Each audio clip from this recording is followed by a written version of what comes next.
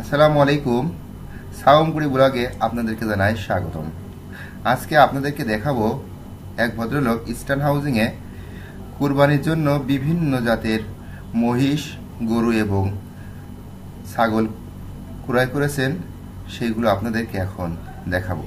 আপনারা তাহলে দেখুন যে কি কি জাতের গরু, মহিষ এবং ছাগল ভদ্রলোক ক্রয় করেছেন।